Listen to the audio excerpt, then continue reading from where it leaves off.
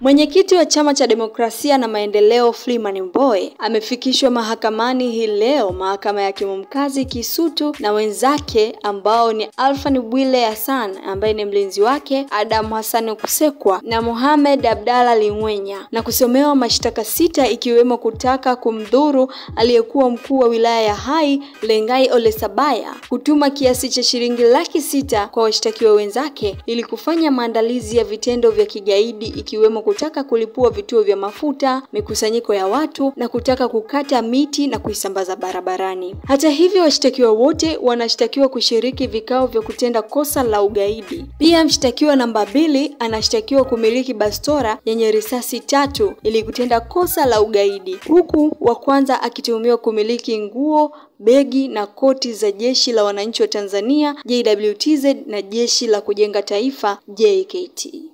Endelea kutazama Spin Tanzania, bonyeza hayo maandishi mekundu yaliyoandikwa subscribe na kengele ili kupata taarifa zaidi.